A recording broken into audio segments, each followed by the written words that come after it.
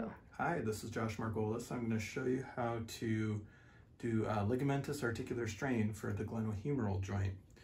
So what we're going to do is bring the elbow of the affected side up.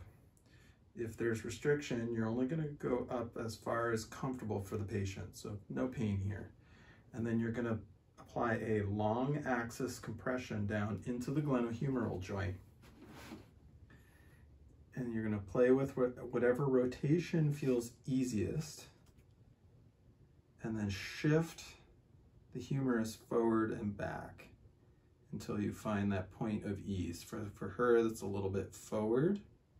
And then you keep that compression down towards the floor, towards the table.